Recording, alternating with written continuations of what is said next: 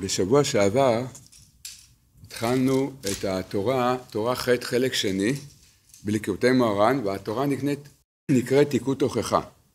שבוע שעבר הזכרנו שזה התורה האחרונה שרבנו אמר בחייו, תורה שנאמרה בניסים גדולים מאוד, כי רבנו היה כבר במצב מאוד מאוד חלש, מאוד חולה ומאוד חלש, והתורה הזאת בברסלב היא נחשבת הצוואה של רבנו. ופעם אחד המקובלים הגדולים ספר שיש פה 160 נושאים שונים בקבלה בתוך התורה הזאת. אז התורה מאוד ארוכה, שכמו שאמרנו, היא נאמרה בניסים גדולים במשך שלוש וחצי שעות, ואחרי התורה הזאת רבנו כבר לא אמר שום דבר. זה היה שבועיים וחצי אחרי זה, רבנו נפטר. שבוע שעבר התחלנו את התורה, עמדנו על הנקודה הראשונה, שרבנו מתחיל בעצם את הצוואה שלו, את התורה לדורות, והוא מתחיל בנושא של התוכחה. ורבי נתן כותב בליקוטי הלכות שזה אחד הנושאים העמוקים, הלכה למעשה, אחד הנושאים העמוקים ביותר שרבנו גילה לנו הלכה למעשה בין כל הדרך שלו, כל הדעת שלו, כל העצות של, של, של רבנו. ורבנו אומר שבאמת יש מציאות שאנחנו בהכרח מוכיחים אחד את השני. זה בין הורים לילדים, בין חברים, ואם מישהו עושה קצת בחינוך, אז בחינוך. אין מציאות שאנחנו לא מוכיחים. זה מציאות שקורית.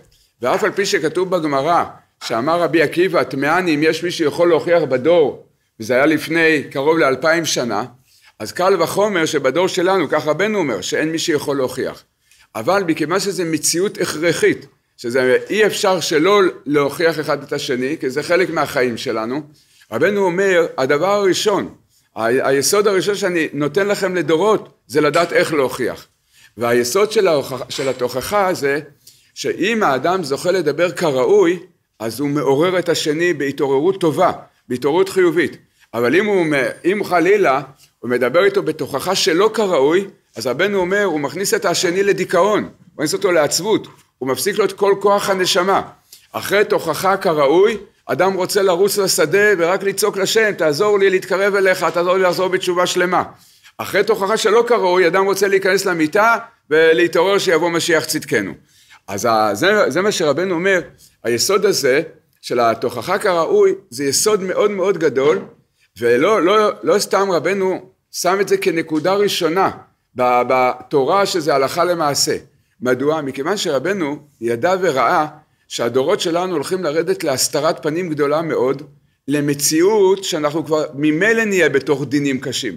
אם אנחנו לא נדע איך להמתיק את, בהסתכלות שלנו את המציאות שלנו, מה שיקרה אנחנו ניכנס לדיכאונות כל כך עמוקים ש, שהיה עדיף כבר אה, לשתוק ולא לדבר כלום.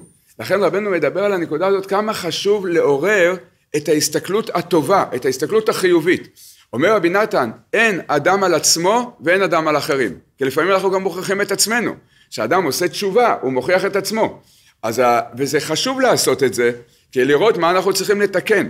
אז יש לנו דברים שאנחנו צריכים לתקן, אבל מיד חייב האדם, אומר רבי נתן, האדם חייב לראות, נכון, יש לכל אחד מאיתנו דברים שאנחנו צריכים לתקן אותם, אבל מיד רבנו, אומר רבי נתן, שרבנו לימד אותנו גם על עצמך וגם על אחרים, תראה קודם כל את הנקודות הטובות שיש בשני. קודם כל תראה בו, נכון, יש דברים שצריכים לתקן, אבל תראה כמה דברים טובים יש בעצמך ובאחרים. וזה יסוד מאוד גדול ללכת עם, התור, עם הנקודה הזאת, וכל החיים צריך ללמוד את זה, איך אנחנו לומדים להסתכל בעין חיובית אחד על השני וגם על עצמנו. גם אם אדם עכשיו עושה תשובה על איזה דבר שהוא טעה בו, נכשל בו, הוא לא בסדר, יש לו מידת כעס, יש לו תאווה וכן הלאה, מה שלכולנו יש וכל אחד צריך לתקן את זה, אבל בד בבד תראה שיש בך גם דברים טובים. והדבר הראשון, אם אדם בא להתבודדות והוא לא מוצא בעצמו שום דבר טוב, אז זה שבאת להתבודדות זה נקודה טובה. עצם העובדה שבכלל אכפת לך, שאתה, זה, זה כואב לך, אתה רוצה לתקן, זה כבר נקודה טובה. ועצם העובדה שאדם רוצה, גם אם הוא לא מצליח, עצם הרצונות, זה כבר נקודה טובה. אז כל זה שאדם ילמד להסתכל בעצמו ובאחרים, בטוב שיש בזולת, אומר רבנו, אם נראה את הטוב שיש בנו ובאחרים, נוכל גם לתקן. אין אדם יוכל לתקן את עצמו, ואין אדם גם יוכל לעזור לאחרים להגיע לתיקון שלהם. אבל אם אדם לא רואה דברים טובים בשני, זה אחד הקלקולים הכי גדולים שיש לפני, לפני הגאולה. לכן רבנו אמר, היסוד הראשון זה נקרא, בברסלב אומרים ששמירת עיניים יש לזה שתי פירושים, שתי באמת. אחד זה צריך לשמור את העיניים ברחוב, אבל דבר שני צריך לשמור את העיניים מעין הרע. אל תסתכל בהקפדה על השני, תסתכל על השני בעין טובה, זה שמירת עיניים, זה עוד מושג בשמירת עיניים. לשמור את העיניים מהקפדות, מעין לא טובה. ועל ידי זה, אומר רבי נתן, על פי כמה וכמה מקומות שרבנו אומר, אנחנו מתעוררים בתשובה חיובית. באמת צריך לחזור בתשובה. אנחנו צריכים לחזור בתשובה, אנחנו צריכים לתקן את מעשינו, אבל צריך לתקן את זה בצורה חיובית, לא בצורה שלילית. ואחד הדברים המסוכנים ביותר בדורות שלנו, שאדם יתעורר לחזור בתשובה ולא ידע את היסודות האלה. מדוע? כי היצר הרע תוך שבועיים יהפוך אותו להיות הבן אדם, הבן אדם הכי מדוכא בעולם. זה, אחר כך הוא ילך לאיזה פסיכיאטר לקחת תרופות הרגעה, או שמה, הוא ירוץ לעשן משהו, רק לשכוח את המציאות, הוא לא יכול לסבול את עצמו, לא יכול לסבול, לא יכול לסבול אף אחד בעולם. אז אה, סכנה גדולה מאוד, הנקודה הזאת זה סכנה מאוד גדולה, הבחינה הזאת. לכן רבנו מתחיל את כל התורה, את כל התורה הזאת, שכמו שאמרנו זה הצוואה שלו, קודם כל בנקודה הזאת. ורבנו הדגיש בכמה מקומות. בלי להסתכל בעין טובה זה לראות את הטוב שיש בנו, בעצמנו ובאחרים, לא נוכל בעצם לחזור באמת בתשובה ולפעול באמת דברים ברוחניות. כתוב, יש שיחה בשיחות הר"ן, שבשעה שהאדם ממליץ טוב, מלמד זכות על עם ישראל, כי הוא רואה נקודות טובות בעם ישראל, אז הוא מלמד עליהם זכות, גם אם עושים טעויות, אבל הוא מלמד, מלמד עליהם זכות מצד הנקודות הטובות, אז אומר, אומר רבנו בשיחות הר"ן, הקדוש ברוך הוא עוזב, עוזב את כל עיסוקיו, עכשיו רק יושב ומקשיב ליהודי שממליץ, שמלמד זכות על אחרים. הקדוש ברוך הוא אומר, רגע, יש אה, הרבה התרחשויות למעלה. באים כל מיני מלאכים, לספר כל מיני סיפורים, יש שם הרבה עניינים למעלה. אבל ברגע שיש יהודי פה שעושה התבודדות, מלמד זכות על עם ישראל, אומר רבנו, הקדוש ברוך הוא אומר, רגע, כל אלה שבאים רוצים להתקבל אצלי עכשיו, חכו רגע בתור, קודם כל הוא. מדוע? שברגע שאדם מלמד זכות, משנה סדרי בראשית. משנה את כל סדרי הבריאה. איפה זה כתוב? כתוב גמרא מפורשת במסכת חגיגה. הגמרא אומרת, אלישע בן נבויה היה בהיכל, היה בהיכל של מלאכים בעולם שנקרא עולם הבריאה, והיה במקום מאוד גבוה שם, זה היכל כיסא הכבוד, רואים את הקדוש ברוך הוא יושב. אלישע בן נבויה ראה את המלאך יושב, הוא ראה מלאך יושב, ואז בגלל זה הוא, הוא ירד לאן שהוא ירד, הוא הידרדר מאוד, כי הוא אמר שתי רשויות. אז מדוע? כי אלישע בן נבויה ידע דבר אמת, אין ישיבה לפני כיסא הכבוד, איך אפשר לשבת לפני, לפני, לפני הקדוש ברוך הוא? זה, זה לא דרך ארץ, גם למעלה יש הלכות דרך ארץ. אין ישיבה לפני כיסא הכבוד. הוא ראה את המלאך מתת יושב. בגלל זה אלישע בן נבויה באמת התפקר. הוא יצא, עלה והתפקר ועשה הרבה, נפל מאוד. שואלת הגמרא, באמת, למה מלאך מתת יושב? באמת למה הוא יושב? אומרת הגמרא במסכת חגיגה ודף ט"ו, אומרת הגמרא, מכיוון ששעה אחת ביום המלאך מתת כותב את זכויות ישראל. בשעה שהוא כותב את זכויות ישראל, מותר לו לשבת גם לפני כיסא הכבוד. משנה סדרי בראשית. יש הלכה, אין ישיבה לפני הכיסא הכבוד, אבל מי שכותב את זכויות ישראל, מותר לו לשבת. כל כך יקר וחשוב בעיני הקדוש ברוך הוא הנקודה, הנקודה הזאת. ודרך אגב, ראיתי מדרש, שכתוב במדרש, שלמה אנחנו שרים במוצאי שבת על אליהו הנביא, כי אליהו הנביא נכנס לגן עדן התחתון בכל מוצאי שבת וכותב את כל זכויות ישראל. לכן אנחנו משבחים אותו ומודים לו שעכשיו הוא, הוא, הוא, זה, הוא, הוא כותב את, את זכויות ישראל. אז זה, פה רבנו אומר לנו פה הלכה למעשה, תורה הלכה למעשה. הוא אמר בכמה, בכמה תורות וכמה שיחות. שהעבודה שלנו זה ללמוד להסתכל אחד על השני בעין טובה. זה לדעת, אפילו אדם, אדם עשה לך דברים לא טובים, אבל עם כל הקושי, עם כל המלחמה, תתבונן, בוודאי שהוא לא כל כך אשם בזה שהוא עשה לך את הדברים הטובים, וכן הלאה. אז זה היסוד הראשון, להסתכל, ללמוד, לראות נקודות טובות, הן בעצמנו, הן באחרים. ומיד ממשיך רבנו ואומר, ויש צדיקים רבנו מביא דוגמה את משה רבנו, זה צדיקים מאוד גדולים, שהקול שלהם נקרא קול המוכיח הראוי. זה נקרא קול המוכיח הראוי, אומר רבנו, ואותם צדיקים שיש להם קול המוכיח כראוי, מה הם פועלים בנו כשהם משמיעים לנו את הקול שלהם? אומר רבנו, הם מעוררים את הנשמה שלנו. הם נותנים ריח טוב בנשמות. מה זה ריח טוב בנשמות? ריח טוב בנשמות זה לשון משל. רבנו אומר, את התורה של רבנו זה הרבה משלים, כי הוא אומר דברים עמוקים. אומר רבנו, ממשיך הערה רוחנית מאוד מאוד של שמחה, של חיות, של אמונה לנשמה השומעת את כל המוכיח כראוי. לכן זה אחד היסודות של הנסיעה בראש השנה. בראש השנה, בשתי, יש שני זמנים בשנה, שאז מתעורר בעולם כל המוכיח כראוי. ראש השנה אצל רבנו, ל"ג בעומר אצל רבי שמעון בר יוחאי. אז שמעתי לפני כמה שנים מהרב ברלנד ששאל שאלה, הוא אומר למה חצי מיליון איש נוסעים לרבי שמעון בראש בל"ג בעומר? ועוד מעט בעזרת השם יהיה חצי מיליון איש באומן. זה, זה רק זה, זה, זה עולה זה כל שנה זה עולה. אז, אז הוא שאל את השאלה למה נוסעים? הוא אומר הרי הרבה מאלה שנוסעים בל"ג בעומר לרבי שמעון בקושי יודעים אפילו מי זה רבי שמעון בר יוחאי. אבל מרגישים בלב רוצים לנסוע לרבי שמעון. הוא אמר למה? כי רבי שמעון בר יוחאי יש לו עין טובה על כל יהודי. לכן הוא נותן ריח טוב, גם אחרי הצדיק, גם אחרי פטירתו. באים לציון שלו, אז ה... הוא מאיר, אנחנו לא רואים את זה, זה הערה רוחנית שאנחנו לא רואים, רק מרגישים בלב, קצת מרגישים בלב את הדבר הזה. מהי ההערה הרוחנית? ההערה הזאת נקראת כל המוכיח הראוי. הוא נותן ריח טוב בנשמות. אדם מתקרב לצדיק, לצדיקים האלה, הריח הטוב, שאדם פתאום אומר, רגע, אני רוצה להשתנות, אני רוצה להיות יהודי אחר. אני רוצה להיות יהודי יותר טוב, רוצה לשנות את המידות שלי, אני רוצה לצאת מהתאוות של העולם הזה. וצריך לדעת שזה לא פשוט בדור שלנו שיש 50 שערי טומאה ואיזה בערך 100 מיליון אתרים של טומאה גמורה באינטרנט, מתוך המיליארד, 10 אחוז זה טומאה גמורה, זה מישהו שמתעסק במחשבים אמר לי את המספרים האלה, אז כל כך הרבה תאוות, כל כך הרבה ניסיונות יש לכל אחד ואחד, זה, זה בלי שיעור ובלי ערך הניסיונות, זה, זה, קשה, יבוא משיח, אנחנו רק נראה מה עברנו, נגיד מה יכול להיות שעברנו כאלה דברים, אנחנו בעצמנו לא נאמין מה עברנו פה.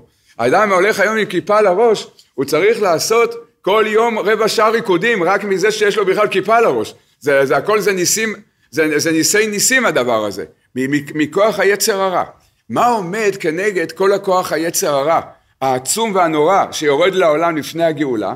אומר רבנו כל המוכיח כראוי.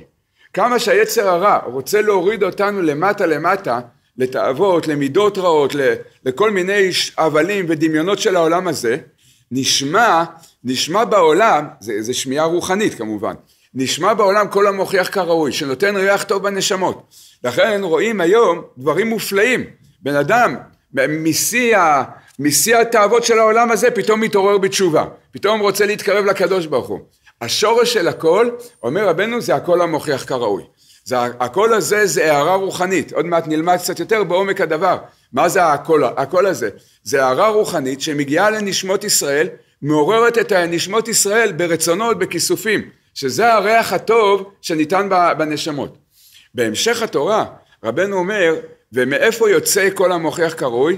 אז הדבר הראשון צריך לדעת, שהצדיקים, הצדיקים האמיתיים, הם אלה שממשיכים את כל המוכיח כראוי. כי הם מסרו את נפשם כל ימי חייהם בשביל עם ישראל, ולכן אחרי פטירתם הם, הם נמצאים במקום שהם נמצאים ומאירים לעולם את כל המוכיח כראוי, הם, הם, את ההערה הרוחנית הזאת. אומר רבנו, וכל התשובה שיש בעם ישראל, הכל מתחיל מראש השנה של הצדיק. הכל מתחיל מראש השנה של רבנו.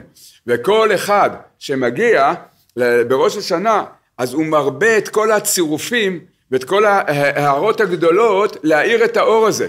לכן אנחנו רואים, רואים, ככל שנוסעים יותר, אתה צריך לדעת, זה הניצחון על הסטרא אחא.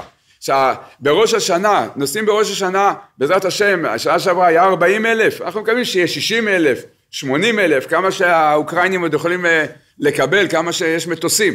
אז השנה שעברה הפסיקו, הפסיקו פשוט ההרשמה, כי כבר לא היה מטוסים. ברוך השם. זה חברות הרשמה, יש לי ידיד שהוא מנהל חברת הרשמה, הוא אמר לי, אני לא האמנו, לא האמנו מה שקורה. שבועיים אחרונים היה נערות של נרשמים לראש השנה. כבר לא היה לנו מטוסים, ניסינו לגרד עוד מטוסים, עוד מטוסים. התקשרנו לאלה, לחברה האוקראינית, תביאו עוד מטוסים. לא היה כבר מטוסים. ברוך השם שזה ככה. אז הכל, הכל ה... זה, זה המלחמה של, נגד הסטרא אחא, המלחמה הזאת. מדוע? כי הסטרא אחא המלחמה שלה, של כל כוחות היצר הרע, זה להוריד עוד יהודי, להוריד עוד יהודי לתוך תאוות, לתוך המקומות הנמוכים, אבל כנגד זה עומד כל מה שיוצא, ההערה הרוחנית העצומה שיוצאת מהציון של רבנו, מהראש השנה של רבנו, שארבעים, חמישים, אלף איש מתפללים ביחד, וכמו ברוך השם הרבה היו וראו את זה, כזה אהבת ישראל שזה לא, זה, זה לא, זה לא טבעי בכלל מה שרואים את זה, כל האחדות הזאת היא, היא מאירה לכל העולם, היא מאירה לכל הנשמות. יש אנשים, שכבר אמרנו את זה הרבה פעמים בעבר, בראש השנה הם לא יודעים עדיין איך שומרים, שומרים יום טוב, הם רוצים לשמור יום טוב, אין יהודי שלא רוצה לשמור יום טוב. ואיפה רואים ראיה לזה? שאתה רואה שכל יהודי מגיע יום טוב, אחד נוסע להודו, למסיבה בברזיל, כל אחד, אתה רואה שהם לא, לא ממשיכים את הסדר יום שלהם כרגיל, הם עושים איזה חגיגה, רק הם לא יודעים שצריך אה, זה, לנסוע לאומן, הם לא יודעים שצריכים להתקרב לצדיק, אז הם בטעות הולכים לעשות את זה בסיבה, הם חושבים שככה צריך לשמור הלכות יום טוב, זה, זה רק שאלה בהלכה, שאלה בפוסקים, איך נכון לשמור הלכות יום טוב, אז ה, זה כל זה, אז רבנו מגיע לכל המקומות האלה, ובהמשך התורה רבנו אומר, בעזרת השם נלמד את זה, רבנו אומר אני מאיר לנשמות שנמצאים ב, ב, ב, בתוך הסטרא אחא עמוק עמוק, ופתאום, פתאום האנשים מקבלים התעוררות של תשובה, כל זה זה נקרא הקול המוכיח כראוי. אומר רבנו כנגד זה יש מה שנקרא מזונה דגופה, זה נקרא העקביים של, של הנחש, שהוא נלחם כנגד הקול המוכיח כראוי. מה זה המזונה דה גופה, מה הכוונה העקביים של הנחש? זה הכל מה שהוא רוצה לתפוס נשמות ישראל ולבלוע אותם. אז אחד הצדיקים הראשונים שהיה לו את הקול המוכיח כראוי זה היה ודאי יעקב אבינו. יעקב אבינו, וזה כתוב גם בתורה, שיצחק אומר הכל קול יעקב. מה זה הכל קול קול יעקב?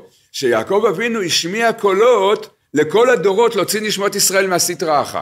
ולכן הקדוש ברוך הוא סובב סובב סיבות שמיד בהולדה של יעקב אבינו כבר התגלה כל העבודה שלו. ומה כתוב בהולדה של יעקב אבינו? וידו אוחזת בעקב עשיו, בעקביים של הסטרא אחא. למה אתה... הרי אם התורה כותבת לנו שככה הם נולדו יעקב ועשיו, שיעקב תופס את העקב של עשיו, זה ודאי עכשיו לא בא לספר לנו איזה סיפור של, אתה יודע, שהאימא מספרת לחברה שלה או זה איך היא ילדה, זה היה ככה וזה היה ככה, התורה לא באה לספר לנו את זה, התורה, בא, התורה היא נצחית, התורה זה אין סוף שדות, התורה באה לגלות לנו איך שהקולות, איך הצדיקים האמיתיים תופסים בעקביים של הסטרא אחא, בשביל מה? להוציא את הנשמות משם, להוציא את הנשמות שבלועות בתוך הסטרא אחא, וכל זה איך? על ידי הכל כל יעקב. עוד בחינה של הכל זה, מה רבנו מביא את זה, שהאדם הראשון חטא, אז מי, מי הוכיח את אדם הראשון? עוד לא היה רב וצדיק שיוכיח אותו, הוא היה היחידי בעולם. אז מי יכול להוכיח אותו? הר, הרבה שלו. מי היה הרבה של אדם הראשון? הקדוש ברוך הוא. זה הצדיק האמת אז, היה הקדוש ברוך הוא. צדיקו של עולם. אז מיד, כשהוא שאל אותו, אייכה, אז האדם הראשון רץ, הסתתר, נבהל. שאל אותו אייכה, ירץ לברוח. מה אמר לו האדם הראשון? מה הוא ענה לו? שאל אותו אייכה, מה הוא אמר לו? את קולך שמעתי בגן ואירא. מה זה ואירא? שמעתי את הקול שלך, שוודאי שהקול של הקדוש ברוך הוא זה קול המוכיח כראוי. מיד קיבלתי יראת שמיים, התביישתי במעשים שלי, רצתי בין העצים לעשות תפילה והתבודדות, לחזור בתשובה. אז זה מה שזה רבנו אומר, את קולך שמעתי זה קול המוכיח כראוי. איך ששמעתי אותך שואל אותי אייכה, מיד התעוררתי בתשובה. מיד אמרתי אני רוצה לחזור בתשובה. אז רצתי לעשות התבודדות. אז, שם התחילה התשובה, התחילה התשובה בעולם. ככה רבנו מביא את הנקודה הזאת. אנחנו רואים את המושג הזה של הקולות בעוד כמה וכמה, בעוד כמה וכמה מקומות. דוגמה, במתן תורה, במתן, במתן תורה כתוב וכל העם רואים את הקולות. במקום אחד. מקום נוסף, בתהילים. בתהילים אנחנו אומרים בקבלת שבת, אנחנו אומרים השם גאות לבש מקולות מים רבים אדירים משברי ים. מה זה מקולות, נשאו נערות כולם, נשאו נערות דוחיים, מקולות מים רבים. מה הכוונה? דוד המלך כתב את התהילים, כתב את התהילים ברוח הקודש. מה זה אה, נשאו נערות כולם מקולות מים רבים? מה, מה הכוונה של דוד המלך? עוד מקום שדוד המלך אומר, או, או כותב את זה, את עניין הקולות, וזה על פי תורת הסוד.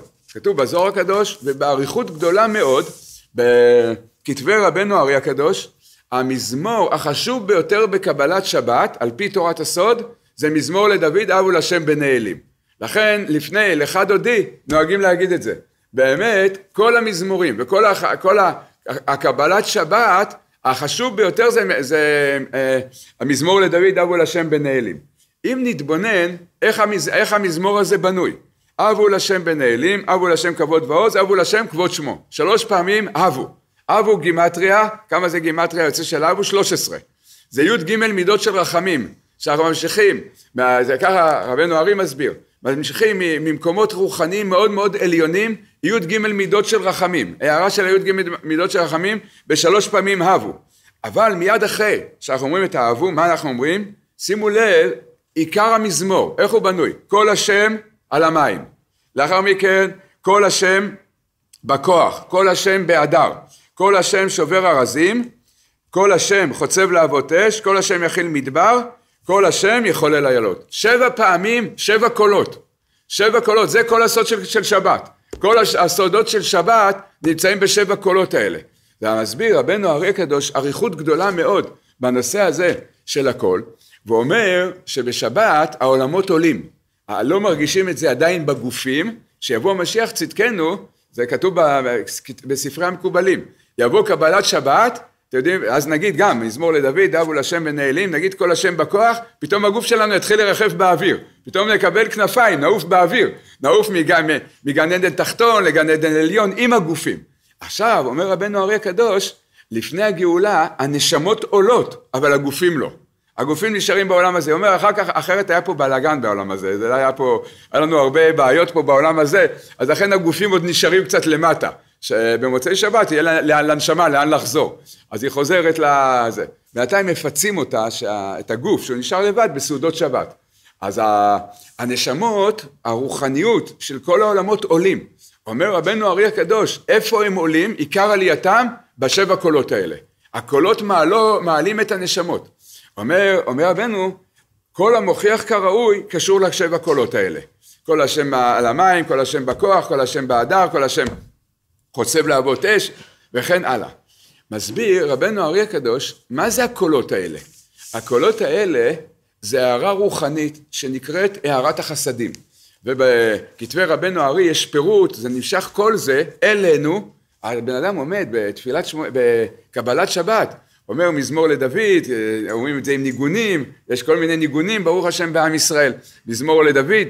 אז עכשיו, בשעה שאנחנו אומרים את זה, אומר רבנו ארי הקדוש, נמשך שבע הערות, שבע הערות שונות, שכולם של חסדים, מעולם האצילות אל הנשמה של האדם שעומד בבית כנסת, ואומר את זה. לכן אחרי קבלת שבת, אדם מרגיש אחרת לגמרי. זה מההערות הרוחניות האלה, אדם מרגיש את זה. ההערות של החסדים נמשכים בקולות.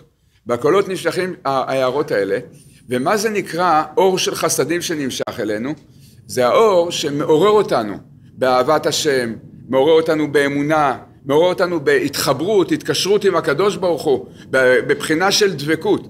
כל זה, זה הקולות, הקולות של קבלת שבת. זה לכן, זה, זה בגלל שזה עת רצון, זה עכשיו העולמות מתעוררים בקדושה וברוחניות גדולה בכניסת השבת, לכן אנחנו אומרים את הקולות האלה. אומר רבנו דבר נפלא מאוד, אומר רבנו והצדיק הוא נקרא בחינת השבת, זה כתוב בזוהר, צדיק הוא בחינת השבת. כשאדם מתקרב אל הצדיק, הצדיק מתחיל להאיר לו את הקולות האלה. מתחיל להאיר לו את השבע קולות האלה, שזה אורות של חסדים, לכן האדם פתאום מתחיל להרגיש הרגשות חדשות בלב. פתאום הוא מתחיל לאהוב את הקדוש ברוך הוא, פתאום מתחיל להרגיש אמונה, מקבל דעת, מקבל רצונות ללמוד תורה, להתחזק, לתקן את עצמו. כל מה שאנחנו מקבלים זה הכל מהקולות האלה. מה, מהשבע קולות שכתוב במזמור לדוד, אבו לשם בנעלים, והצדיק משמיע לנו ומאיר לנו את הקולות האלה. לכן אנחנו מתעוררים בתשובה בהתקרבות לצדיק. ובאמת, אנחנו יכולים קצת לקרב את הדברים עוד קצת להבנתנו, את הבחינה הזאת, שבשעה שאדם מדבר עם חברו, שני חברים מדברים אחד עם השני. בדיבור, זה כתוב בזוהר הקדוש, בדיבור באמת יש שתי בחינות. כל שיחה יש שתי בחינות. בזוהר קורא לזה קול ודיבור, וזה לא אותו דבר, קול ודיבור. מה זה דיבור? דיבור זה המילים שאנחנו אומרים אחד לשני. אבל הכל זה נקרא הרוחניות שיש בתוך הדיבור. מכיוון שאדם יכול להגיד את אותו דבר בצורה שונה לגמרי. הבן אדם אומר, אה, הוא מגיש לחבר שלו כוס תה, אז הוא יכול להגיד לו בבקשה כוס תה. הוא יכול גם להגיד לו בכזה עצבים בבקשה כוס תה עד שהוא בסוף לא רוצה לשתות רק רוצה לברוח משם או שלא לראות את החבר שלו. אז יש, יש דרך איך להגיד את הדברים, זה נקרא קול. הקול זה הרוחניות שיש בתוך הדיבור. זה, לכן אנחנו לפעמים מקדשים זוגות, אז בכתובות, זה כתוב בכל הכתובות הספרדיות, בחלק מהכתובות האשכנזיות זה גם כתוב. יש שמה שהחתן מבטיח להכלה, הזון, הפרנס, הכלכל והסובר. וגם אני אסובר אותך, לא רק אכלכל אותך, גם אסובר אותך. שואלים המפרשים, הפוסקים, שואלים, מה זה הסובר? אז יש שישה פירושים שונים, מה זה המילה הסובר. אבל הפירוש העיקרי, מה זה הסובר? כל מה שאני הבטחתי לך שאני אעשה לך, אני אדאג לך לפר, לפרנסתך, למזונותייך, לבגדים, כל מה שאת צריכה, בסבר פנים יפות. אדם יכול להביא לאשתו כל מה שהיא צריכה, אבל בכזה עצבים שהיא רוצה להיכנס מתחת למיטה באותו רגע שהוא מביא לה את זה. אבל זה, לכן בכתובה כתוב שהכל צריך להיות בסבר פנים יפות. אז זה נקרא הכל. הכל זה הרוחניות שיש בתוך, ה, בתוך הדיבור. זה נפשי יצא בדברו. כשאדם מדבר, הנפש שלו נמצאת בתוך הדיבור. אז אומר, אומר רבנו, זה הקול המוכיח כראוי, וזה הקולות שבקבלת שבת, שצריך להיות חסדים בתוך הכל. לא, שלא יהיה אה, אה, מחלוקת, קנאה, שנאה, הקפדה. ברגע שיש הקפדה או קנאה או שנאה בתוך הדיבור, אדם לא יכול לקבל את זה. הנשמה של האדם לא יכולה לקבל את זה, היא, היא מרגישה רתיעה, וזה מחליש את האדם. אבל אם יש חסדים בתוך הכל, זה נקרא כל המוכיח כראוי, אז האדם מקבל לנשמתו, מקבל לנשמה שלו חסדים. והחסדים אמרנו שהחסדים זה הרצונות הטובים, זה הערה נפשית פנימית שאדם מקבל. לכן היסוד, היסוד של קודם כל הצדיק פועל איתנו שמשמיע לנו כל המוכיח כראוי. אבל מכיוון שהצדיק בעולם רוחני מאוד גבוה, לכן אנחנו לא רואים את זה, אבל אם נתבונן אנחנו נרגיש את הדברים. ואיך מרגישים את זה? שהאדם יתבונן, כל אחד יתבונן. מהרגע שהתקרבתי לצדיק, לרבנו, איך החיים שלי משתנים. זה היום כל העולם רוצים להתקרב לרבנו, הם עוד לא יודעים, הם מחפשים את זה עדיין. עוד מעט אתם תראו, גויים, ישמעו, יש ליקוטי מוהר"ן, אז הם שיחה בליקוטי מוהר"ן, יהיה לגויים, שיחות לליקוטי מוהר"ן ולגויים, הם ירוצו לשיחות האלה. כי כל הנשמות הן צמאות לכל המוכיח קרוי, שזה הארת החסדים. אז אומר רבנו, כל המלחמה, כל המאבק שלה, שלנו בעולם הזה, היצר הרע שנקרא עקביים, עקב עשיו, עקב עשית אחא, אז ה, בזה נקרא גם התאוות של העולם הזה, מזונה דה גופה, רוצה להשתלט על העולם. איך זה? בכל הבחינות שיש עכשיו. הוא נלחם במסירות נפש. מכוח המסירות נפש של היצר הרע, נלמד כמה כוח של יצר הטוב יש בעולם. רואים, את היצר הרע רואים אותו, כי הוא, הוא בגלוי. אז רואים כמה יצר רע יש בעולם. מזה נדע, נלמד כמה כוח של, של יצר טוב יש בעולם. ומהו היצר הטוב? שזה הצדיק מאיר את זה בעולם, זה הקולות. כל השם על המים, כל המוכיח כראוי, זה הארת החסדים בתוך נשמות ישראל להתקרב אל הקדוש ברוך הוא. אז אומר רבנו, וכל זה, כל זה, רבנו אומר, ועל ידי הכל הוא מוסיף ונותן ריח טוב, וגדלים כל הריחות, והוא משקה את הגן. הקול הזה גם משקה את הגן. כל זה לשונות משל שרבנו אומר, מההערה הזאת כל הנשמות וכל הבריאה מתחילה לפרוח, לגדול, לצמוח מהבחינה הזאת. אז אומר רבנו, ולעתיד לבוא, לעתיד לבוא, מכל הקול המוכיח כראוי, נשמות ישראל יחזרו בתשובה, ואז יתגלה שיר פשוט כפול משולש מרובע. והשיר הזה, כשיתגלה השיר הזה, יהיה כינור בין 72 מיתרים, ובשעה שנשמע את הניגון של הכינור, שהוא שיר פשוט כפול משולש מרובע, אז תהיה הגאולה. זה, זה יהיה כבר סוד, סוד הגאולה. רבנו, בתורה הזאת, כמו שאמרנו, זה צוואה, ורבנו בלשונות מאוד קצרים, אמר דברים מאוד עמוקים. אומר רבנו, מכל המוכיח כראוי מתעוררים נשמות ישראל. ואז נעשה שיר פשוט כפול משולש מרובע, וזה כינור של 72 מיתרים, ושהוא יתנגן, יתגלה הניגון שלו בעולם, כל העולם כולו ירוצו אל הקדוש ברוך הוא. זה, זה, וזה, וזה סוד הגאולה. קצת צריך להסביר את הדברים האלה, כי רבנו אמר, בתמצית שבתמצית, כמעט את כל הקבלה. כמעט את כל סוד הנשמות, אה, רבנו בחוכמה כל כך גדולה, הכניס את כל, כל מהלך הגאולה. דבר ראשון, צריך לדעת, רבנו אמר שנשמות ישראל מתעוררות בתשובה. אומר רבי נתן, האדם מתעורר בתשובה, אבל כשאדם מתעורר בתשובה, אז אחד הדברים הראשונים שרבנו מגלה לנו, שזה נקרא, בהמשך רבנו מסביר, בירור הדמיונות. אדם מתעורר בתשובה, אז הוא אומר, כמה זמן לוקח לי להיות במדרגת רבי שמעון בר יוחאי? הוא אומר, הסברה שלו אומרת שבועיים שלושה. בואו נגיד, אתה יודע מה, אני מוכן עד חודש לחכות. חודש ימים אני רבי שמעון בר יוחאי. עוד, עוד שבועיים אחרי זה אני משה רבנו. לאחר מכן זהו, אני כבר מלאך, מלאך מתת, לא משנה, כבר יעלה עם כנפיים לשמיים. אבל אנחנו רואים שזה לא ככה. כשאדם מתעורר בתשובה, הוא מתחיל דרך חדשה לגמרי. והדרך הזאת, יש בה הרבה קשיים, הרבה התמודדויות, עליות, ירידות. לפעמים יש הערה גדולה, עולים מעלה מעלה, לפעמים יורדים מטה מטה. כל הדרך היא דרך קשה מאוד. הדרך נקראת שיר פשוט כפול משולש מרובע. מה זה השיר הזה? נסביר. רבנו אומר שזה מובא באותיות של שם הקודש. מה, באיזה אופן? את השם, שם הוויה י"ק ו"ק אפשר לכתוב אותו בהרבה מאוד דרכים. בספרי המקובלים כתוב עשרות אם לא מאות דרכים לכתוב את שם הוויה. כל זה על מה ולמה, למה צריך לכתוב את זה בכל כך הרבה אופנים? מסבירים המקובלים שכל דרך שאנחנו כותבים את שם הוויה, כל אופן שאנחנו כותבים את שם הוויה, יש לו סדר של תיקון ושל הנהגה בעולם. זה לא סתם ככה. שכותבים את שם הוויה למשל בשינוי סדר האותיות, או במילוי האותיות, או בכל מיני סדרים, זה לא עכשיו שמישהו החליט ככה לכתוב את זה, אלא זה גילוי משמיים אל, אל עם ישראל על ידי נביאים וצדיקים גדולים, שכל צורה שאנחנו כותבים את שם הוויה, זה מרמז על סדר שלם של תיקון והנהגה, הקדוש ברוך הוא איכשהו מנהיג את כל הבריאה ואת נשמות ישראל. אומר רבנו, השיר פשוט כפול משולש מרובע, הוא גם סדר כתיבת שם הוויה. באיזה אופן?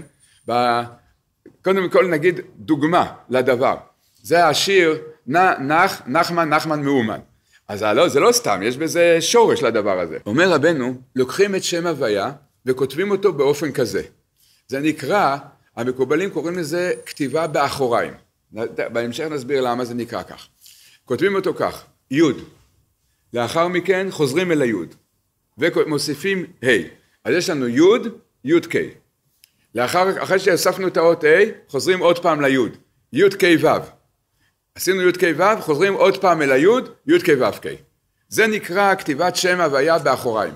רבנו אומר, וזה סוד שיר פשוט כפול משולש מרובע. אז תכף נראה, בהמשך נראה מה זה קשור לשיר, זה שם, שם קדוש. מה זה קשור לשיר ולכינור עם, עם 72 מיתרים, רבנו אומר, כל זה זה בשם הזה. מסביר רבי נתן, כל שם זה הנהגה. כל שם קדוש, אמרנו, זה סדר הנהגה שלם.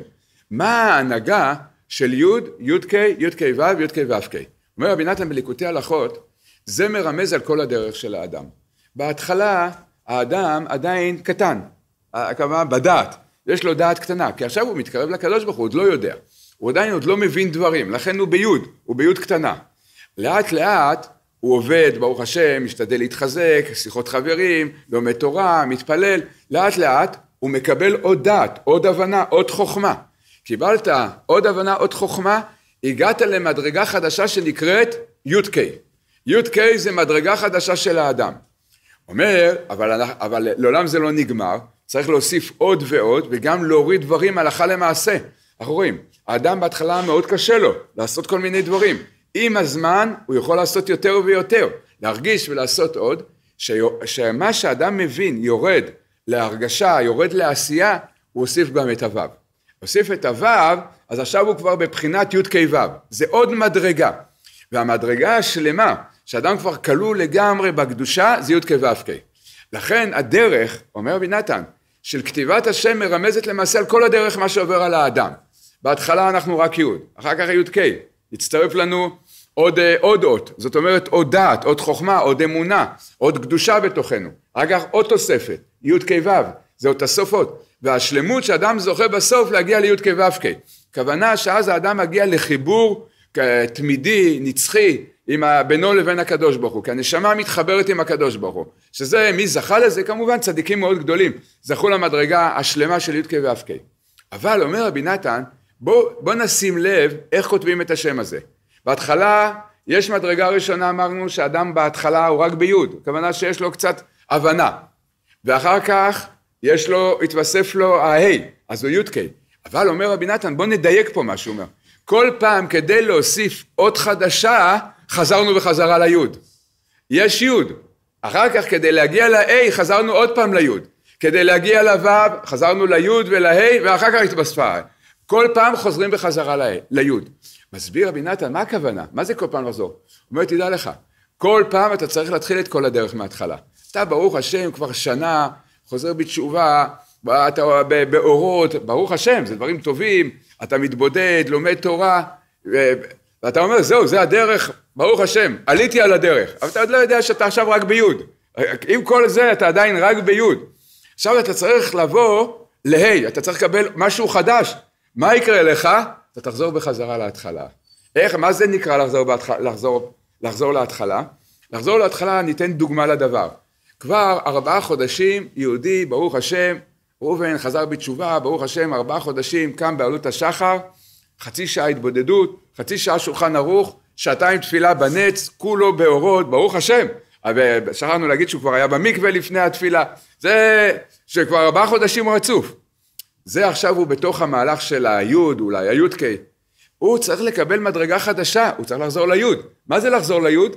שאחרי הארבעה חודשים האלה הוא יקום פתאום בתשע וחצי בבוקר, הוא לא ידע בכלל איך קוראים לו, הוא לא, רגע, הוא לא, קודם כל צריך לזכר את השם שלי. אחר כך, אחרי שהוא נזכר בשם זה לוקח לו חמש דקות. הוא נזכר, אה, גם צריך להגיד מודה אני. אחר כך הוא רואה את התפילין, הוא אומר, מה זה הקופסאות השחורות האלה? הוא לא, הוא צריך להיזכר. אתמול היית מלאך, אתמול עבדת את הקדוש ברוך הוא באין סוף. פתאום אתה אפילו לא יודע מה זה תפילין. זה אומר רבי נתן כל פעם לחזור בחזרה אל ההתחלה. לחזור אל ההתחלה. מפה אומר, אומר רבי נתן, מהסוד הזה של היוד, י"ק ו', י"ק י"ק ו"ק, אומר רבי נתן, מכאן אנחנו רואים שכל הזמן אדם צריך לחזור אל ההתחלה, וזה כל הקשיים, זה כל ההתמודדות. יש אנשים שאומרים, אני כבר לא ידעתי מה זה תאוות, לא ידעתי מה זה מידות רעות, הייתי בטוח, זה אני פרוש לגמרי, ופתאום הוא אומר, יומיים אחרי שהוא היה בטוח שהוא פרוש לגמרי, הוא אומר, תשמע, אני לא יודע אם יש גוי כמוני, אני לא יודע, אני חושב שאני יותר גרוע מכל הגויים. כבר כמה אמרו לי, שאולי הוא אמרו לי, אולי אני לא נשמה יהודית, אמרתי להם למה לא, אומר, תשמע, עם כאלה שיגעונות בראש, יכול להיות שאני בכלל לא יהודי. אז לא, אז אדרבה, אם יש לך כאלה שיגעונות אתה יהודי. לגוי אין כאלה שיגעונות, זה רק ליהודי יש כאלה שיגעונות. אז אה, אומר, אומר, אומר, אה, אומר רבי נתן, לכן הדרך היא כל הזמן קשה. זאת אומרת, לא כל הזמן, אבל יש קשיים. פתאום אנחנו מתעוררים קשיים. כשאנחנו חוזרים להתחלה, חוזרים להתחלה, אז מתעוררים כל הקשיים. עכשיו צריך להבין, לדעת, כתוב כמה יהודים יש בשם הזה. יוד, י"ק, י"ק ו', י"ק ו"ק, ארבע יהודים, זאת אומרת ארבע פעמים לחזור להתחלה. אומר רבי נתן, כן, זה ארבע פעמים לחזור להתחלה. אל תשכח, אתה צריך לעבור את המהלך הזה עשרת אלפים פעם. אז זה כבר עשרת אלפים, ארבע כפול עשרת אלפים פעם. כי כל הזמן זה המעברים שעוברים על האדם, שעוברים על האדם. אז זה, זה מה שרבנו אומר, זה, זה מסביר רבי נתן, זה סוד השם. ולכן הוא נקרא באחוריים. כי בקבלה יש מושג שמות שנכתבים באחוריים. מה הכוונה? באחוריים הכוונה תמיד זה מושג של הסתרת פנים. השם הזה גורם הסתרת פנים לאדם. זה הסתרת פנים שפתאום הכל מסתלק מאיתנו. לכן כל אחוריים זה הסתרת פנים.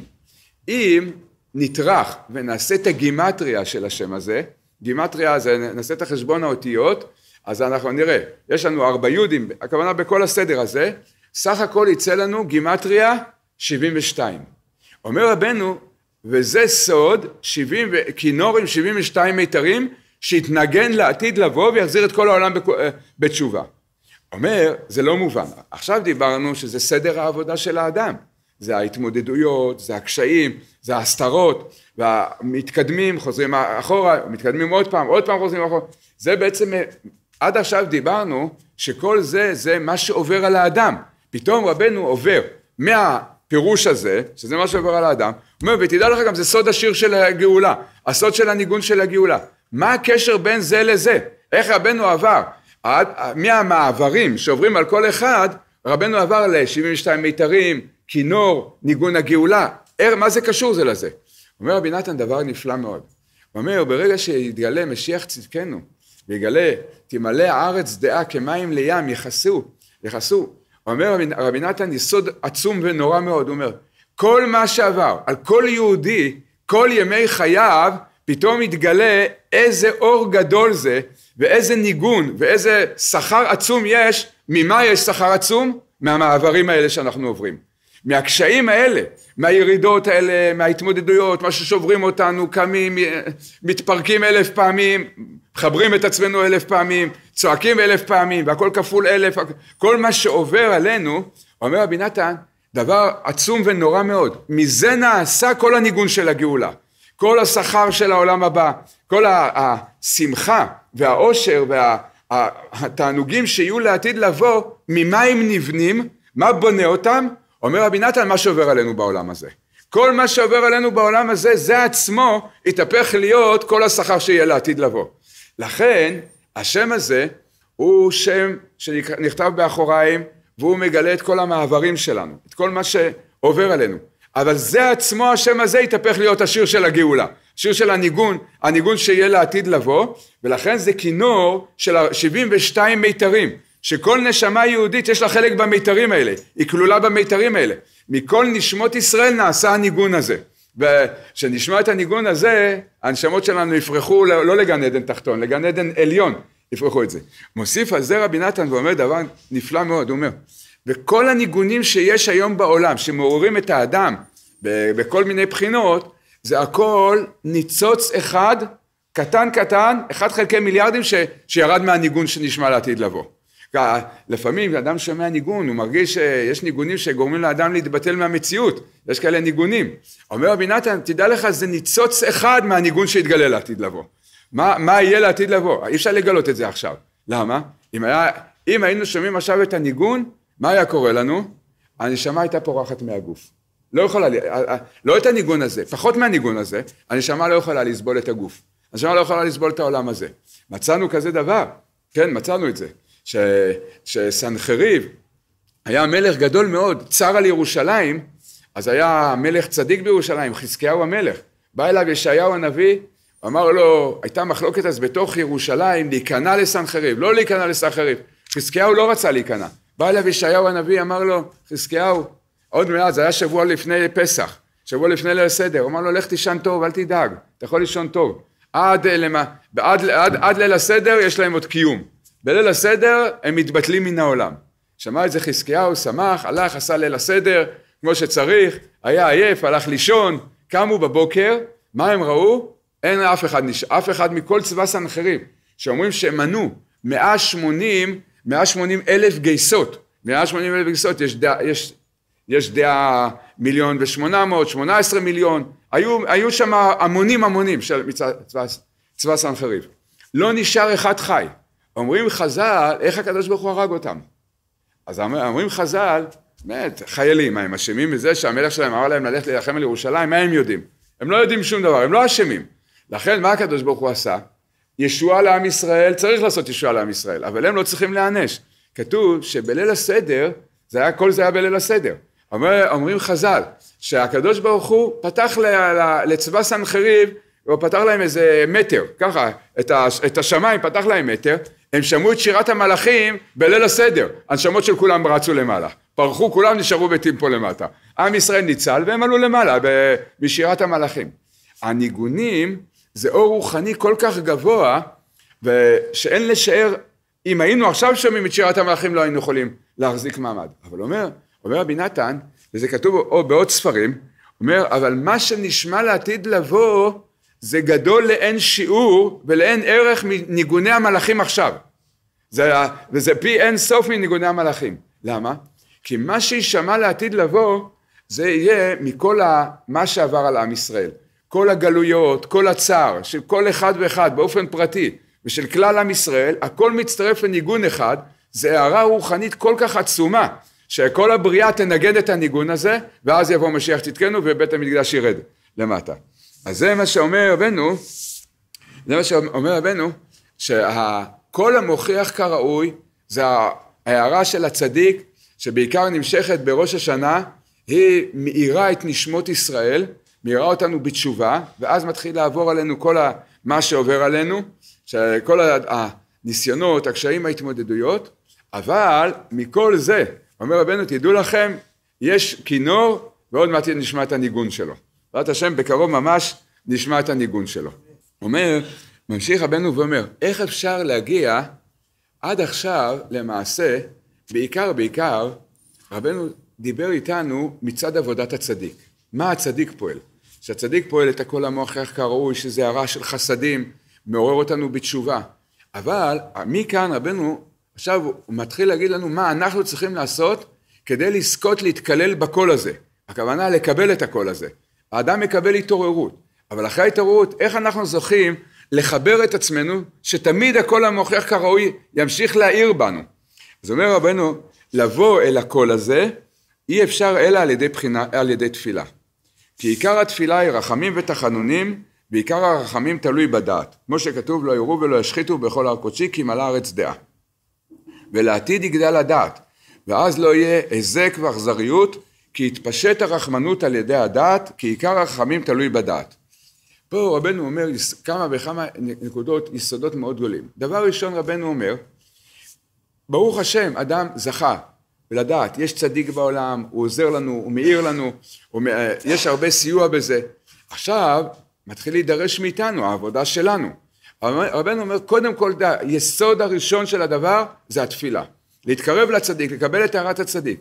מה הכוונה תפילה? תפילה, קודם כל כפשוטו. שחרית, מנחה, ערבית, תהילים, ליקוטי תפילות. אבל רבנו כידוע גילה, גילה לנו גם את הדרך של ההתבודדות. עיקר העניין של ההתבודדות זה שהאדם ידע, יש כוח גדול מאוד לדבר עם הקדוש ברוך הוא. בוודאי שזה טוב שאדם יהיה לו זמן מסוים מחוץ למקום יישוב, שאדם הולך לבד ומדבר עם הקדוש ברוך הוא. אבל זה צריך תמיד להשתדל לעשות את זה. אבל לא תמיד זה אפשרי לאדם. יש מצבים שאדם לא מסתדר לו הדבר הזה. צריך לדעת שבנקודת ההתבודדות יש עוד דרך, לדבר עם הקדוש ברוך הוא. אתה נוסע עכשיו בדרך, ואם אתה נוסע, אתה נוהג ברכב לבד, אז היום זה לא בעיה, אתה יכול לדבר עם הקדוש ברוך הוא, לעשות התבודדות כל הדרך. אפילו אם יראו אותך מדבר, היום זה הדבר הכי טבעי בעולם. זה כמעט כל מי שנוסע ברכב מדבר היום. אם באוזניות, אם באיזה... כל האמצעים. אז, אז ננצל את זה, לנצל את העניין של הפלאפונים שירדו לעולם, להתבודד. דבר עם הקדוש ברוך הוא. אמרנו לפני כמה שנים, שכל הפלאפונים ירדו לעולם רק בשביל ההתבודדות. למה? כי לפני 30 שנה שהתקרבנו לרבנו, קצת לפני אפילו, אז זה היה בבני ברק. ואז רבנו דיבר, חיזק, העיר בנו את הנקודה של ההתבודדות, היו שיחות על זה. אז מה היה? היינו הולכים ברחוב בבני ברק, ורבנו אומר, יש לך התעוררות לדבר עם הקדוש ברוך הוא, דבר איתו מיד. כי למה זה, או חמש דקות יכול ללכת, דבר איתו. זה היה בעיה, איך נדבר עם הקדוש ברוך הוא? אתה הולך ברחוב, איך תדבר איתו? עכשיו, טוב, דבר איתו, מה אכפת לך מה יגידו עליך? זה לא כך. בני ברק של אז, אדם היה מתקרב לברסלב, בדידיה ועובדה, אדם מתקרב לברסלב, הוא לא 99 אחוז נקודה 99 אחוז משוגע, אלא בכל המאת אחוזים משוגע. מי שהיה הולך להתפלל או לומד בכולל ברסלב, אז לפני 32 שנה, היה יכול ללכת לביטוח לאומי, היה אומר, אני מתפלל בכולל ברסלב. אתה מקבל קצבה חודשית קבוע, זה נכות נכות נצחית. אם אתה מתפלל, שלוש פעמים התפללת בברסלב, אתה לא נורמלי. ככה זה היה. העולם ראו ברסלב זה גימטריה, נסדר את זה, משוגע. זה היה, זה שווה, זה היה משוגעים גמורים בזה. עכשיו, תאר לך שאתה התקרבת לברסלב, ואו תלך ברחוב ותדבר עם הקדוש ברוך הוא, זה, זה, זה אשפוז כפוי מיד, יהיה לך ניידת, מאשפזים אותך, זה היה בעיה. מה היו עושים? מה, מה, מה היו עושים בבני ברק? זה, זה סיפור אמיתי. אתם יודעים מה היו עושים? היו מקבלים התעוררות. אז, היום זה כבר לא מצוי, היו טלפונים ציבוריים. היו הולכים לטלפון ציבורי, רואים את השפופרת, חמש דקות עושים שיחה עם הקדוש ברוך הוא, הכל בסדר, סוגרים את השפופרת, יוצאים החוצה. אז היו הרבה טלפונים, כל 100 מטר היה טלפון ציבורי, היו נכנסים לטלפונים. מה קרה? לברוך השם, לאט לאט התחילו להתרבות עוד ברסלב, רבנו התחיל להעיר בעולם, התקרבו נשמות ברסלב. התחיל להיות בעיה בטלפונים הציבוריים, התחיל להיות תור של ברסלב בטלפונים הציבוריים, היה, היה, היה ממש בעיה. ואז רבנו ברוך השם פועל, יש דיבור בחיי מוהר"ן שיש לו הרבה משמעויות. רבנו אומר אני פלא ונשמתי פלא גדול. זה, יש לזה הרבה פירושים. אמרנו עוד פירוש אחד, לא חייבים לקבל את זה, על דרך האפשר אמרנו פירוש. כשרבנו ראה את כל הבעיות שמתקורה, הוא בא לקדוש ברוך הוא, בא לפני כיסא הכבוד, אמר לו, הקדוש ברוך הוא, החסידים שלי רוצים לדבר איתך, תראה איזה בעיה יש להם. אז אמר, הקדוש ברוך הוא אמר לצדיק, טוב, תן עצה, בשביל זה אתה צדיק, תן לי עצה. אמר, אתה יודע מה, בוא נוריד, אני פלא, בוא נוריד פלאפון לעולם, בוא נוריד, פון זה, זה דיבור, בוא נוריד שיחה פלאית לעולם, זה הסוד של הפלאפון, זה הכל מרבנו באסכול הסוד של הפלאפון. הוא הוריד שיחה פלאית לעולם, לדבר עם הקדוש ברוך הוא. אז, ומאז נפתרו כל הבעיות. מהפלאפונים הראשונים, ומאז התחילו להתגלות הרבה חסידים של, רבנו התחיל להעיר בעולם, אפשר ללכת עם פלאפון, לדבר עם הקדוש ברוך הוא לעשות שיחות. מישהו קשה לו להחזיק את היד, יש היום אוזניות, לשים אוזניות, לא ישמע שום דבר, ידבר ישירות עם הקדוש ברוך הוא. אומר רבנו, כשאדם מדבר עם הקדוש ברוך הוא, על ידי זה השיחה עצמה, הדיבורים, לא משנה כרגע על מה הוא מדבר, עצם העובדה שאדם יודע בלב ומקיים את זה מדי פעם בפעם, יש לי את החבר הכי טוב, יש לי את האבא הכי טוב בעולם, יש לי את הרב הכי טוב בעולם, הצדיק הכי טוב, הקדוש ברוך הוא שומר עליי, הוא איתי, אני מדבר איתו. זה כוח מאוד מאוד גדול. הדיבורים עם הקדוש ברוך הוא זה כוח עצום מאוד, עצום מאוד. אומר החפץ חיים, מי שרגיל ללכת ולדבר עם הקדוש ברוך הוא, שכינה שומרת עליו. וכמה גזרות רעות מתבטלות מעליו ומעל משפחתו ומעל כל עם ישראל, בזכות הדיבורים האלה. זה אנחנו לא מתארים לעצמנו איזה כוח, לא רואים את זה. אתה הולך ברחוב, אמרת כמה דיבורים לקדוש ברוך הוא. פה אומר רבנו, שעל ידי שמדברים עם הקדוש ברוך הוא, אתה מקבל את הקול של הצדיק בתוכך. אתה מקבל את טהרת החסדים, הקול המוכיח כראוי. ככל שאדם זוכה ל- ל- לקבוע שיש לו מינה קבוע לדבר עם הקדוש ברוך הוא, הנשמה שלו הופכת להיות כלי, לקבל את האור של החסדים. כל המוכיח כראוי הולך ומתחזק. לכן כבר אה, רבנו הארי הקדוש כותב את זה, שעיקר עיקר תיקון הדורות האחרונים זה הדיבורים עם הקדוש ברוך הוא, התפילה, זה עיקר התיקון. אף על פי שוודאי שלימוד התורה זה גבוה מאוד מאוד והמצוות זה גבוה, אבל העיקר זה הדיבורים עם הקדוש ברוך הוא. לכן רבנו אומר בתורה הזאת שה... שהעצה היסודית, החזקה ביותר להתחבר עם הקדוש ברוך הוא זה על ידי התפילה. התפילה זה מחבר אותנו עם הקדוש ברוך הוא וזה מאיר בתוכנו את הקול של הצדיק, את הארת החסדים. נגיד נקודה אחת, בעזרת השם נמשיך אותה, אבל בשבוע הבא רבנו אומר, אבל יש תפילה ויש תפילה. יש סוגים שונים של תפילות. אומר רבנו, מה עיקר התפילה? וזה לא דבר, זה דבר מאוד עמוק.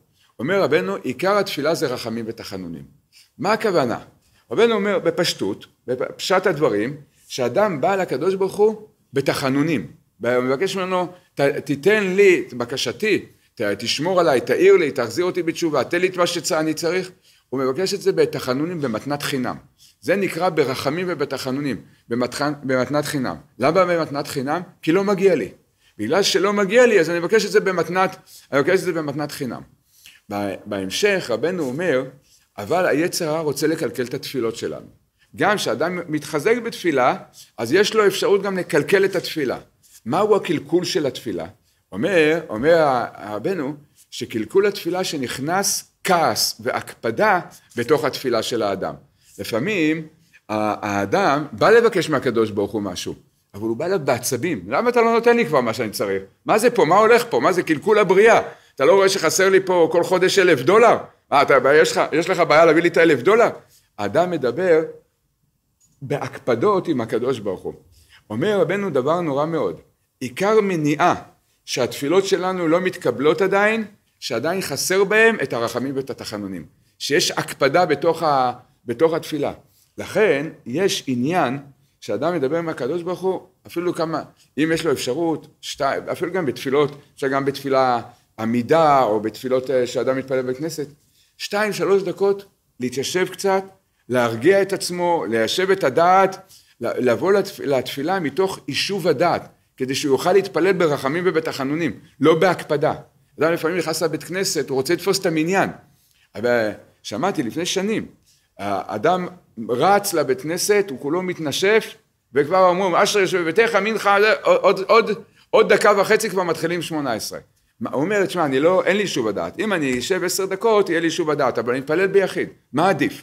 להתפלל ב- לא ביישוב הדעת עם הציבור, או אני אחכה כמה דקות, אני אתפלל ביישוב הדעת. אז באמת התשובה היא שעדיף ביישוב הדעת. מדוע? שאדם מתפלל שלא ביישוב הדעת זה כמעט לא תפילה בכלל. הוא זורק את המילים, הוא בכל, בקושי שם לב מה שהוא אומר. והיותר בעיה, אומר רבנו, יותר, יותר בעיה, שיכול להיכנס לו בתוך התפילה הקפדות על הקדוש ברוך הוא.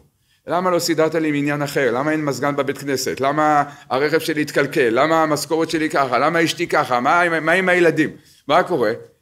אפילו אם האדם לא חושב את הדברים האלה, אפילו אם זה לא במחשבה של האדם, זה נמצא בתוך הלב של האדם.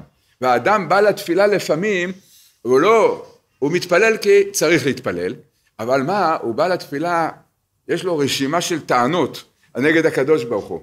אומר רבנו בהמשך, רבנו אומר לנו, עיקר מה שמעכב את התפילות זה ההקפדה שאנחנו מקפידים על הקדוש ברוך הוא בתוך הלב שלנו. לכן, כדי שנזכה שהתפילות שלנו יתקבלו, רבנו אומר, עיקר התפילה זה רחמים ותחנונים. לבוא בהכנעה. לבוא, לא מגיע לי, מה מגיע לי? מה, מגיע לי משהו? בכלל אני נושם, אני הגעתי בכלל למצב הזה שאני בכלל מתפלל אליך. אני הייתי בכלל בדרך לאיזה פאב, בדרך, לקחת אותי מאיזה פאב, הבאת אותי פה עכשיו פתאום לדרך אחרת לגמרי. חשבתי בכלל על כל זה. זה, מת... זה, זה חסד אינסופי. סיפר לי יהודי, אז אה, לפני כמה שבועות. הוא אמר לי, שאלתי אותו, איך חזרת בתשובה? היה איזה מיליונר בזה, במיאמי ביץ'. אז אמר לי, אני, אגיד לך איך חזרתי בתשובה. אני, זה סיפור אמיתי. הוא אומר, אני במרצדס שלי. הוא היה אדם עשיר מאוד. הייתי במרצדס שלי, בדרך למועדון. מועדון, גויים, גויות, הכל טוב, הכל ברוך השם. מיאמי ביץ' זה נקרא, ככה הוא אמר לי, אני לא ידעתי. הגן עדן של הגיהנום זה נקרא. הוא הסביר לי את המושגים האלה. הוא אומר, אני הייתי בדרך לאחד מהפינות של הגן עדן של הגיהנום. אומר, אני לא יודע למה.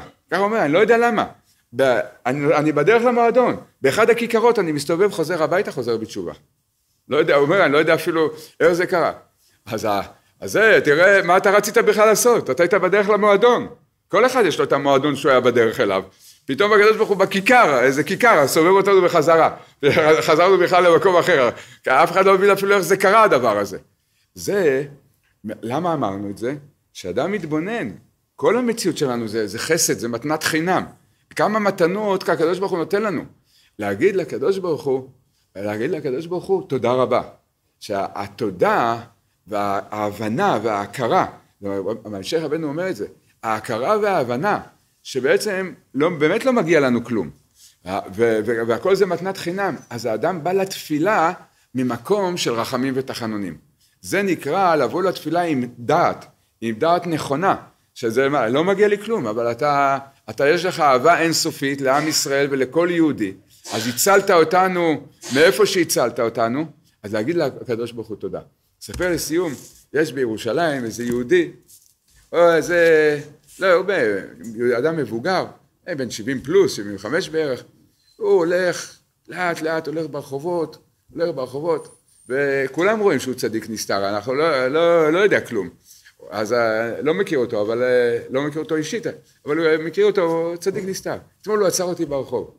עצר אותי ברחוב אתמול בירושלים, והוא ככה מסתובב, אני לא יודע מה הוא עושה, כנראה מתקן את הרחובות, לא יודע מה הוא עושה, אז עצר אותי ברחוב, אמר לי, תגיד, למה הקדוש ברוך הוא ברא פה לאדם? אמרתי, לא, לא אמרתי כלום, שתקתי, לשמוע את התשובה שלי.